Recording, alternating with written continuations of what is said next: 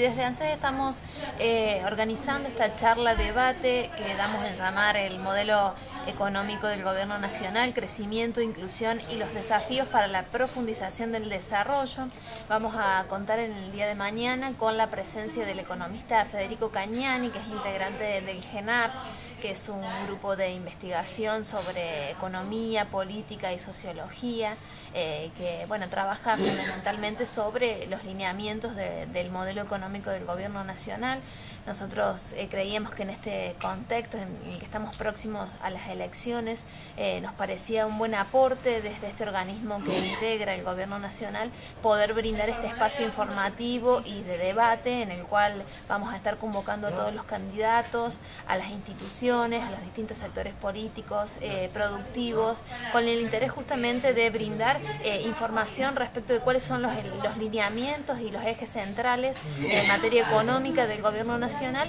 y cuáles son los, desafíos que se nos plantean a futuro. Y creo que, es importante que desde las distintas fuerzas políticas y las instituciones podamos participar de un debate maduro y que podamos plantearnos también eh, cuáles son los roles a nivel regional y local que tenemos eh, en el contexto económico nacional.